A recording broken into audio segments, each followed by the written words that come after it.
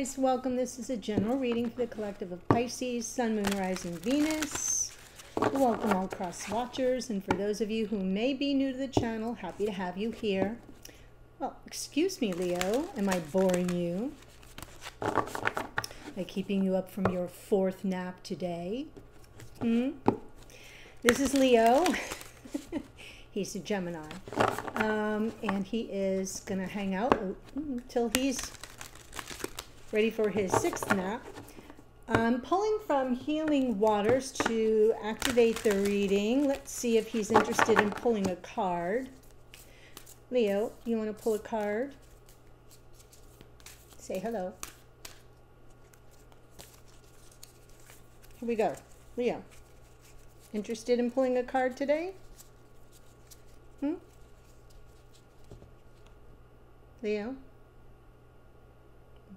What are your thoughts? Neil, Got a thought on a card? No?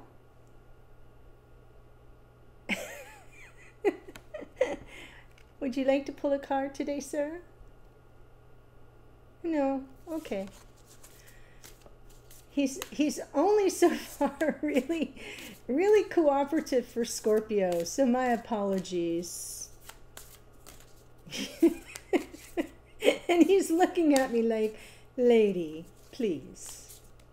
I did this once this week. That's enough. All right. So, the mist. Trust your inner compass. Be led from within. Well, how appropriate for you there, Pisces. Now he's touching it. Yeah, that's the one I wanted to pick, he says. The mist. Trust your inner compass. Be led from within. Beautiful message. We have um, in the next two days, on the 17th, the full moon in Pisces. That's the whole point of this deck is healing waters. Well, the full moon in Pisces, water sign, and it's a lunar eclipse. So that's drawing on the south node of the moon. So lots of stuff from the past coming up to the surface to be released. And the new moon in Virgo that occurred on September 2nd has a very healing quality to it, right? Um, if you missed the new moon reading that I did, it's not too late to watch it because it impacts this full moon, this lunar cycle, as well as the September 2024 um, Love Tarot Energy update where I take the month week by week because there are there's some astrological um, underpinnings of the whole month that I also speak to that might be helpful for you. The whole point here is that this full moon is about healing what you're dredging up from the past so you can fully release it. Okay? So I love that you're getting that trust your inner compass and be led from within because as we release things, we have to sort of trust what's ready to go, right? And this um, particular spread is the soul contract um, tarot spread. So I'm looking at the soul contract you may have with the person you're here to watch about. Even if you're a cross watcher, it, it can be speaking to you um, about your soul contract with this person. Okay, so I will pull and then I will go through and explain what each card position is, and then we'll get the clarifiers. Wow, so the nature of your soul contract, Ace of Cups. Of course, so the one true love, the love of your life, this gift from spirit of the love of a lifetime. Your main lesson here, Queen of Wands, so the Queen of Wands can be about, you know, your sense of um, personal empowerment, your, you know, your sense of, yeah, I got this. Um, sometimes we have a sense that we don't have it all going on and we feel disempowered. So that's what I'm going to lead with for now, but the clarifiers could tell us something very different what you're already aware of, Knight of Wands.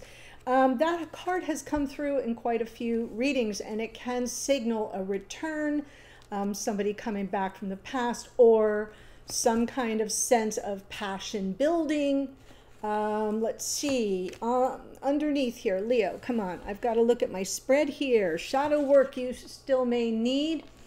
If there's been any sense of imbalance or something that has seemed unfair or out, you know, out of harmony, uh, that's what you may need some shadow work around with the Justice card. Past healing that you've already accomplished, the Fool. So this does not necessarily need to have occurred in this connection or this contract, but it's talking about evidence you already have where um, you may have had a, an issue, an area where there was some wound, and you just took a chance or you let it go, right? And moved in a new direction into the unknown. Um, you know, it's sometimes we can't, we don't always have the luxury to assess the risks. We've just got to take the chance. So we'll see with the clarifiers what you took a chance on and how it sort of was something you could recover from. I love this for you. The final step on the healing journey in this soul contract that will signal that you're either ready to cut cords in this connection altogether or that you're ready to kind of complete this healing and ascend to the next phase of this soul contract is the Three of Wands. So the Three of Wands is talking about, you know, the ships coming in. It's something that you've set in motion that arrives. And it's feeling kind of very tied to this. Interesting. Okay. Sorry, Leo. Wherever you went. Bye-bye. Ace of Cups, Queen of Wands. Three of Cups, Judgment, Page of Swords. So, for some of you, um, it is about a reconciliation and a reunion. Um, right? This is about maybe sort of needing more information or just waiting for it to happen. The Page of Swords from the bottom of the deck is, when I pull from the bottom of the deck, for those of you who are new, it's like unconscious awareness or something playing out behind the scenes. But in this case, because it's like something you can't see, in this case, it's like your curiosity. Is this really going to happen? But there's something you already know. So it may be that you already know that this person is in your orbit, right? They're closer. There's something that you already know, but you're like curious.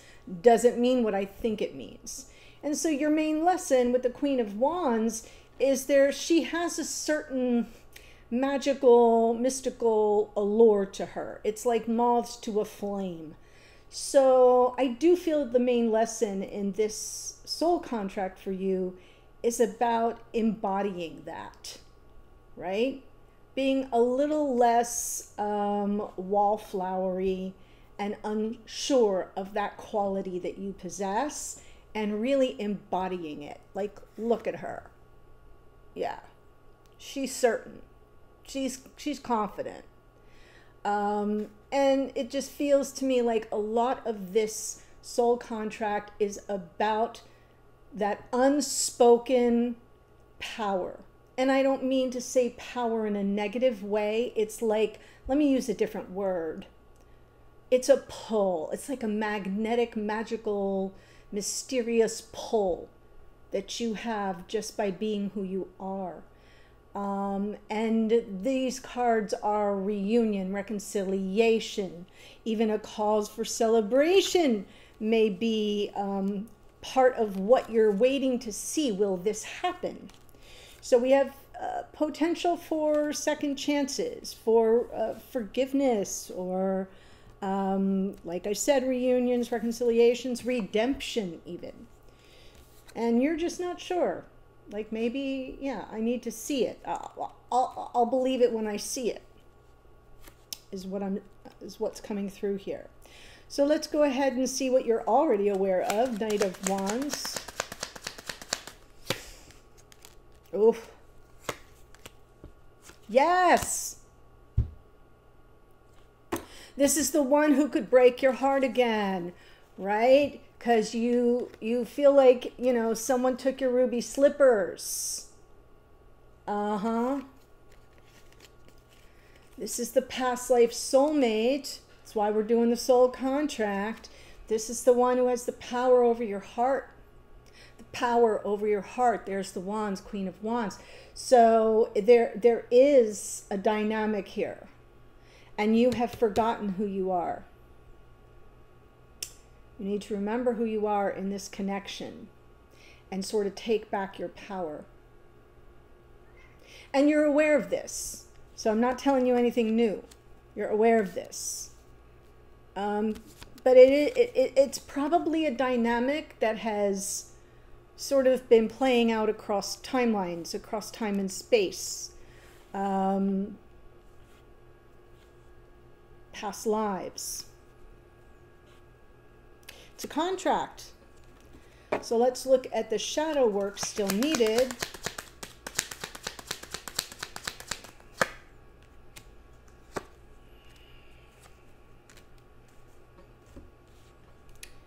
There's something here that feels patently unfair. It's been dogging you for a long time, weighing on you very heavily, more than you can bear. You know, kicking up a lot of fears and insecurities, a lot of apprehension, a lot of worry. Um, it, it, almost like you don't understand it. Um, that moon coming in, like, how did I'm almost like, how do we get back to some kind of level playing field. Oof, right? There's the emperor. There's an imbalance here. There's an imbalance here. Right? And it's like you've given away your power. And I'm I'm almost hearing like how did this happen? It's just too much.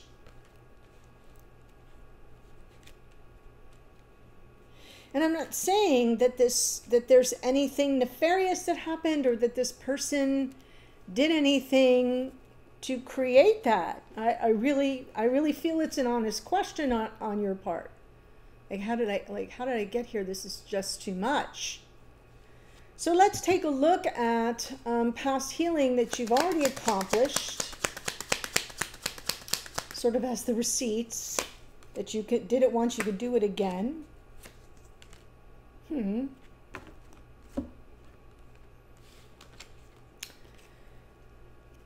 The Fool, clarified by the King of Wands, Temperance, and the Seven of Wands. I'm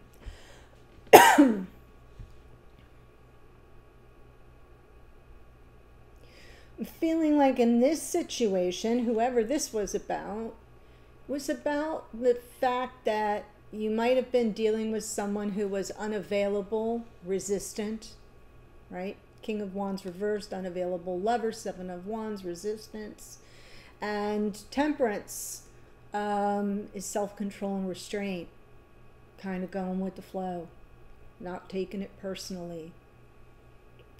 All the energies will eventually come into flow and balance and so, on some level, the fool is kind of, yeah, I am not going to sweat this. I am not going to see this from a negative light. I'm just going to, you know, it's not even about a leap of faith. It was just kind of like, I'm seeing this as an adventure. This is this person's problem. I'm going on to some new, you know, new aspect of life. Uh, I'm turning the page. However, you want to see the fool what I'm seeing here is something that you healed because it, wasn't something you could invest yourself in bumping up against someone who was resisting and wasn't making themselves available for what you had to offer. So instead of being, you know, um, defeated by it or disempowered by it, yeah, I'm leaping into something new and I'm embracing the adventure of that. So that's what I see here. Think back in your life because it may not pertain to this or it could. Right? This this could be part of this storyline, but it could also be or part of this contract even, but it could also be something else that happened where you didn't let the resistance or the defensiveness or the unavailability get in your way. You're like, well, When they're ready, they'll come find me. I'm moving on. I'm going on to, you know, something more fun, more exciting, more uplifting, turning the page. Um, and you have that to talk about or to reference going forward because now we have the final step on the healing journey and this contract that will signal you're ready to either say, uh, nope, I don't want a reconciliation, I don't want a reunion because I don't want to be hurt again and I don't like this feeling of disempowerment, or it will signal that you're ready to finally heal this and work through your shadow and reclaim your power. And then what it is you desire arrives.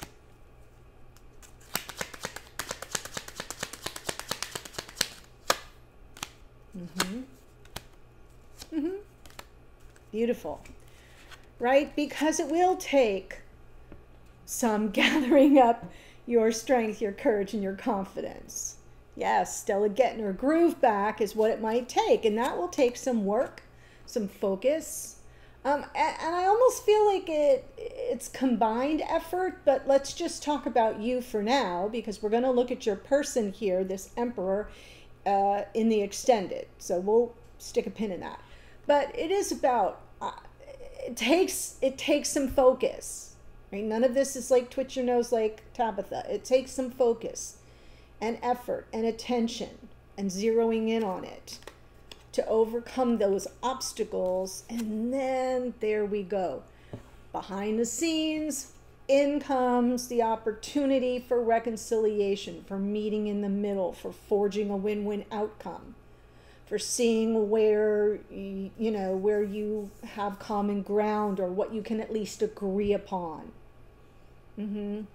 So, and that's what arrives because I have a feeling that's more important than just somebody coming in and sweeping you up off your feet. I feel what's really important in this soul contract is that the power is equally and fairly divided. When I say power, please understand what I'm talking about is where you are in the connection. You know, it, I'm missing the Six of Pentacles. I need that Six of Pentacles here to say this is a relationship of equals. There has to be equal give and take. It can't just be about what's convenient for you. I am a soul having a human experience and I feel a lot of what's happening for you, and to have me over here compartmentalized isn't working for me. It disempowers me, it hurts me. And so when it's just good for you, is not what's good for me. Got it? Okay, so that's what I'm seeing here. If that speaks to you, it's your reading. All right, so before I give you the astrology, I'm going to tell you I'm headed to the extended as well. There are three options below, so make sure when you click a link that you read what it is you're getting because there's a monthly, there's a one time, there's an all access pass. You know. Um, the extended from this person's point of view is uh, what's their perception of you, right? How do they see you? What what are their feelings for you? What are their intentions toward you? What are they getting from you? Like what do they receive from you? What's their physical fulfillment level with you? And if they're not close enough to you, like what's the chemistry, the attraction?